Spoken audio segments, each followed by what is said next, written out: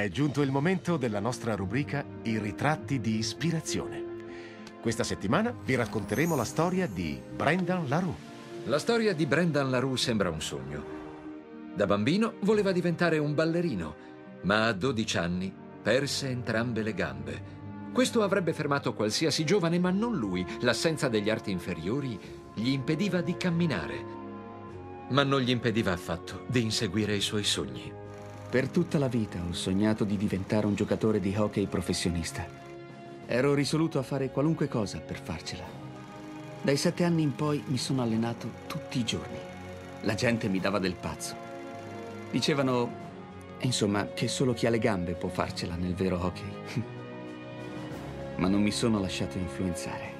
Nel 1988, all'età di 12 anni, Brendan ottiene il suo primo posto nella squadra giovanile dei Bearcats, gli Orso Gatti.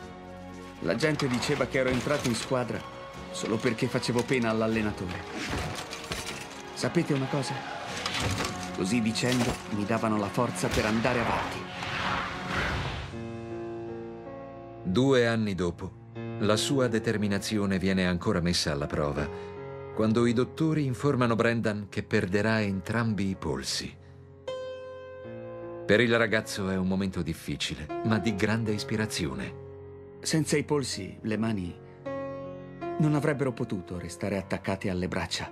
Perciò, anche se le mie mani erano a posto, le ho perse comunque.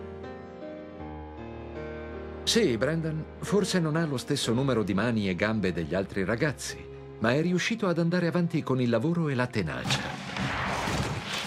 Ha successo nelle schiere delle squadre giovanili e nel 1997 riceve la telefonata che aspettava da tutta la vita. L'allenatore mi fa, ti piacerebbe essere il primo giocatore di hockey professionistico senza mani e senza gambe? Io ho risposto, mister, ci può contare. Sono il suo uomo. È una notte ispiratrice, ricca di ispirazione.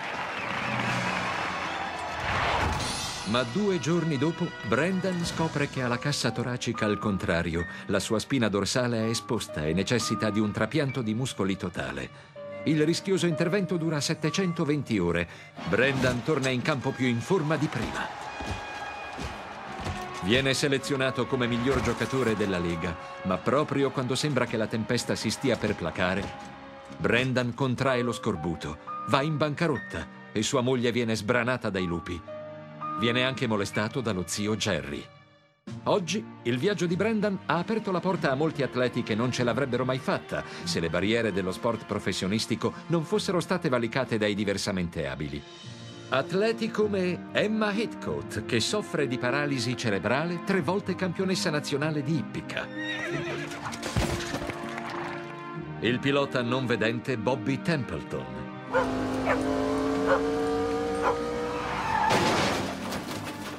Il velocista olimpico non udente Craig Connors. Gil Sarinen, il primo tuffatore professionista in coma.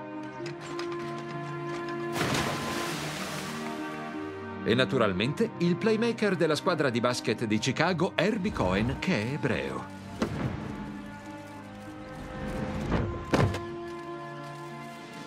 Sì, Nulla sarebbe stato possibile senza Brendan LaRue, un vero ritratto di ispirazione.